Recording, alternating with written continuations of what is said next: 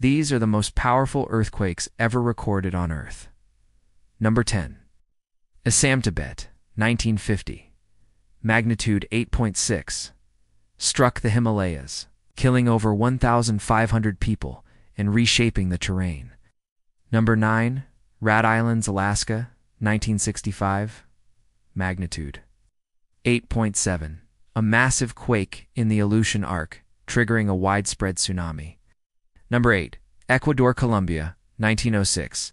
Magnitude 8.8. Devastated coastal cities and caused a tsunami that reached Central America. Number 7. Maule, Chile, 2010. Magnitude 8.8.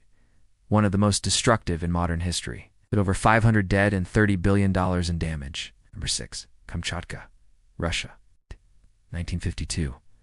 Magnitude 9.0. Generated a Pacific weed tsunami and remains one of the strongest Soviet-era quakes. Number 5. Tohoku, Japan, 2011. Magnitude 9.1. Led to the Fukushima nuclear disaster and over 20,000 casualties. Number 4. Sumatra, Indonesia, 2004. Magnitude 9.1. Triggered a catastrophic tsunami that killed more than 230,000 people in 14 countries. Number 3. Alaska, USA, 1964. Magnitude 9.2, lasted over 4 minutes, and remains the most powerful U.S. earthquake ever recorded. Number 2. Prince William Sound, Alaska, 1964.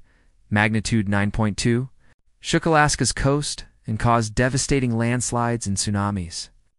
Number 1. Valdivia, Chile, 1960. Magnitude 9.5, the strongest earthquake ever measured. Triggered a Pacific-wide tsunami and reshaped Chile's coastline. Which one shocked you the most?